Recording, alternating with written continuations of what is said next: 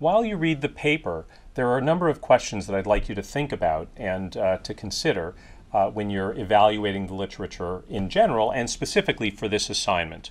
So, when we think about looking at a study, whether it was a cross sectional study or a longitudinal study or any of the other designs, there's always the starting point, which is who is being studied. So, in this exercise, the first question I would like you to evaluate is uh, what was the study population and how is it selected? So that's the very first thing that you're going to think about, and I think this is the starting point really for any study critique that you'll ever be doing in, in, in looking at published literature. The next point that I'd like you to think about is what was the time frame in assessing the relationship between the exposure and the outcome. So what is that relationship over time between the exposure and outcome? And again, that's a generic question. It might be pretty obvious in this case, hopefully, to will be obvious to all of you. Uh, but in general, this is a very important point to think about. The third point I'd like you to think about is what was the um, exposure of interest, or in this case, perhaps multiple exposures of interest, and how were they measured? When you think about that, you should also think about what implications the measurement has for the quality of the data that were collected in the study and how this might influence the results of the study. The next thing to think about is the outcomes of interest. So in this study, where we're looking at vestibular function and balance, how is it measured in this study? And once again, think about the quality of that measurement. Was it measured consistently? How is it coded? How is it recorded? Is it graded? What are the different dimensions of the outcome? And how is it operationalized in this study.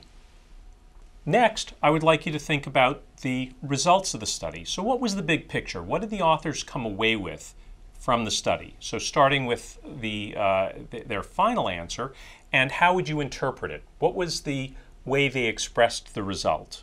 What measure of association did they show? And how do you interpret that main result?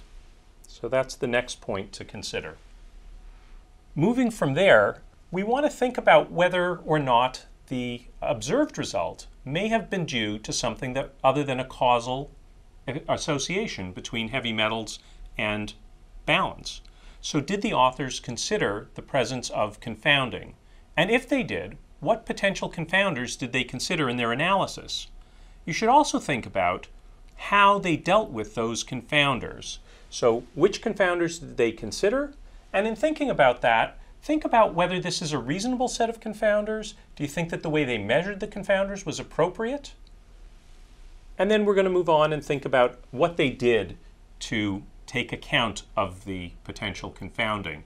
Do you think it was adequate? Do you think that they did a good job in controlling confounding to come up with a reasonable answer with regards to the association between the heavy metals exposures and the outcome of uh, balance and vestibular dysfunction? The next thing that I'll ask you to look at is uh, did the authors in any way evaluate the role of chance in their result? If they did, what did they do? How did they evaluate the play of chance? So is there a possibility that the results they observed were non-causal, but not due to bias, but rather just due to random variability? And if they did assess that, what measures did they use? How did they evaluate the role of chance in this study?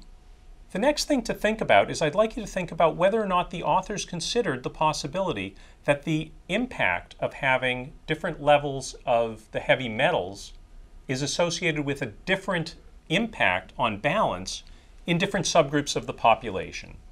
So did the authors evaluate whether the association differed across different categories of subjects in the study? For example, uh, did they think about the difference between older subjects and younger subjects or any other subgroups that they looked at? Sometimes we call this effect modification. So was the effect that they observed for the association the same or did it differ across subgroups? And if so, what subgroups did they look at and how did they express the results of that evaluation?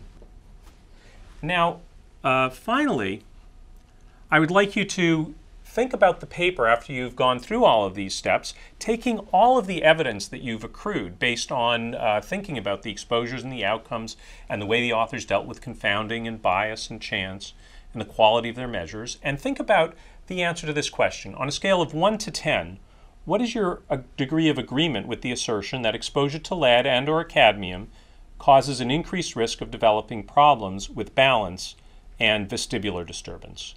Now, when you go through this exercise, I want you to base your answer on your understanding of sound epidemiologic principles that you've been learning throughout this class. I'll be back to discuss the results of, of uh, your um, review of this paper uh, after the, uh, this part of the course is over. Thank you very much for listening today.